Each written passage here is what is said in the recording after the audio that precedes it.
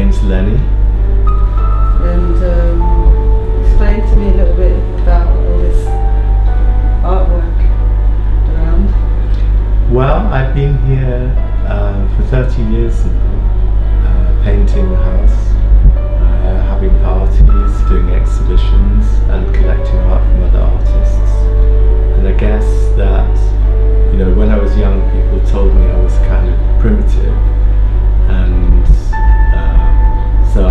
interested in, you know, kind of primitive art.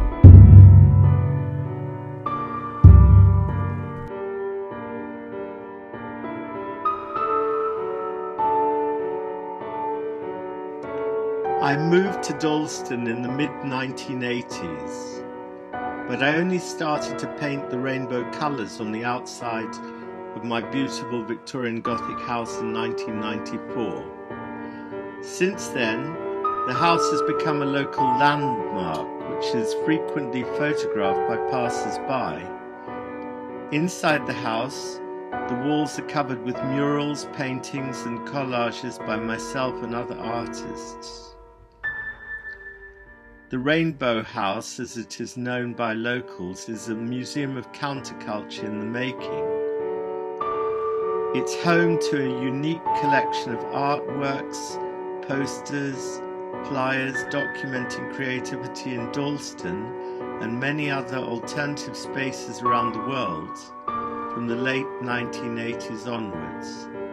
Here you can find the collage door of a demolished 1980s London squat, or street art from Berlin in 1990, or posters and photos of Beijing in 2000, paintings, drawings, collages, flyers from the Cabaret Voltaire in Zurich in 2002. It's one of the biggest collections of underground art in Europe.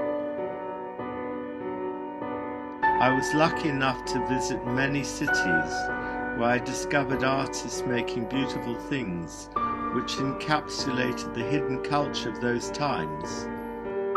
But sadly, many of their works were destroyed along with the buildings in which they were created. They were written out of history. So, to counteract that, I became a keen collector of anything I felt could preserve a part of this history for posterity, collecting masterpieces by these unknown creatives and trying to save countless works of art from the trash.